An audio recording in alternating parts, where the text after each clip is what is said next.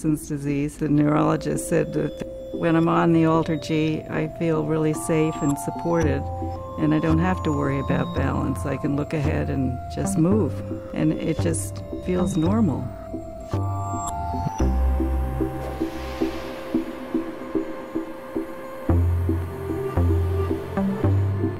Thanks to the AlterG, I can walk to theaters, I can walk to restaurants by using that rhythm that the AlterG is sort of planted in my brain.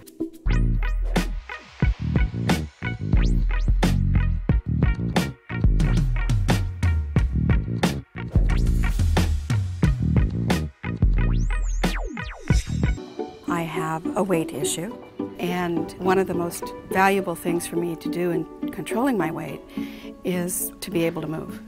I never ran in my entire life until I got into the AlterG. And that feeling of um, flying on your feet is just astounding.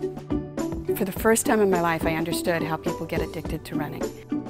I've been able to strengthen my knees, I've been able to strengthen my hips, and it's allowed